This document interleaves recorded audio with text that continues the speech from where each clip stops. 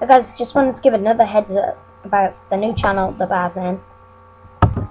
Uh, basically, me, um, Mr. Pansy, Josh TwigTube, or we call him Twigger, or TwigTube, or Twig, or whatever, OJ Roden, and Mitchy Boy, you've never actually seen before, I don't think. You might have, I'm not sure.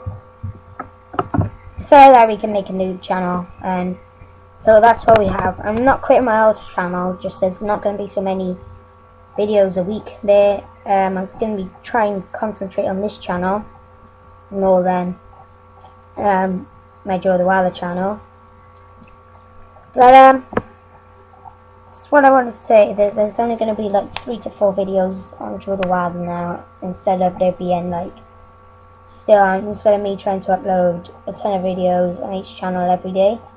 So I'm going to be more concentrating on this channel than that channel, but you can come to the Bad Man to uh, see my daily uploads and contact content that you would get on my old channel. I've got some different type of videos now on the new channel instead of it just being ghosts and GTA. Well, it wasn't really GTA, it was more just ghosts and everything.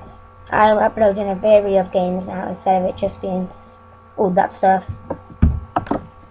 Um, so you can tune into this channel to see my daily content I would upload on uh, Wilder.